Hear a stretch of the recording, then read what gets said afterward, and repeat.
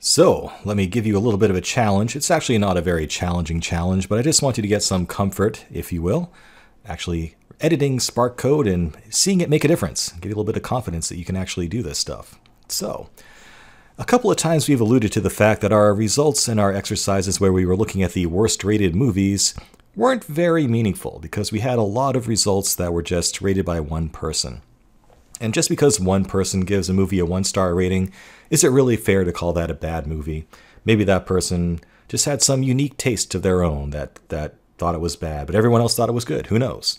So, let's uh, increase our little level of confidence here. And what I want you to do is go back to both the RDD based version of the script and the data frame based version of the script and filter the results such that they only give me movies that were rated by at least 10 people. And then when we look at the lowest average rated movies of movies that were rated by more than 10 people, I think we can say with a little bit more confidence that those are truly bad movies.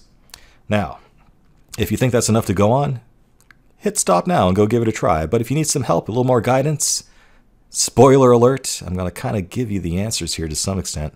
So remember, RDDs have a filter function you can use, and all you do is pass in some sort of function that will determine whether or not a row gets retained. So it needs to be some Boolean expression that returns true if the row should be kept or false if it should be discarded.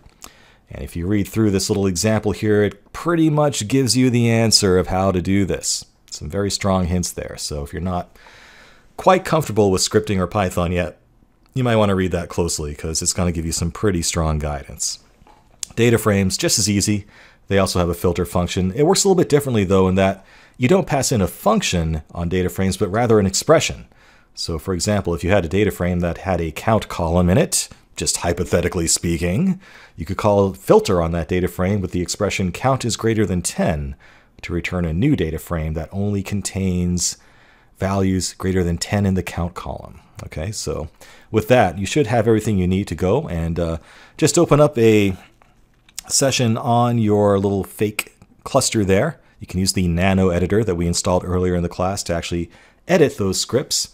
And, you know, if you do get stuck, there actually are solutions included in that spark.zip file as well. They have the word popular in the script names because they are filtered to only have popular movies. So have at it, and when you're ready, have a look at the next lecture where I'll show you my solution and we'll walk through how it works.